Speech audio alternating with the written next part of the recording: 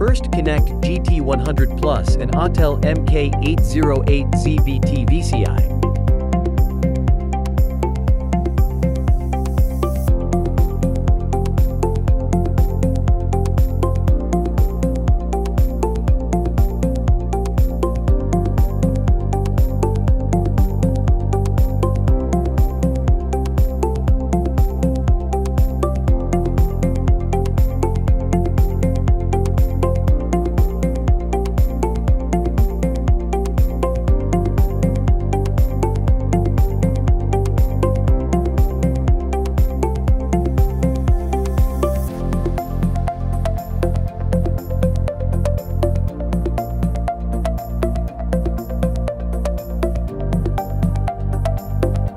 Then connect the KECU according to the wiring diagram, and finally connect the power supply.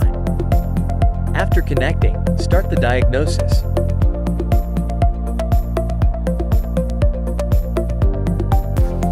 Click DTC and FFD.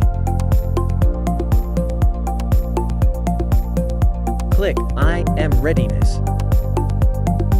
Click live data.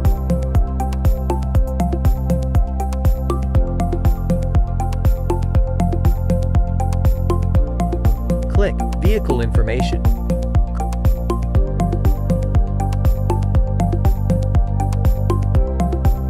Click Vehicle Status.